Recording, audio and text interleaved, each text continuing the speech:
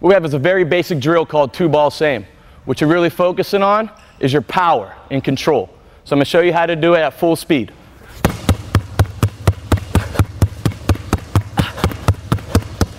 You should really feel the burn in your arms. How you want to start the drill is just maybe do two or three in a row. Once you get that, you build it up maybe to five or six. Once you get to that point, go full out as hard as you can for as long as you can.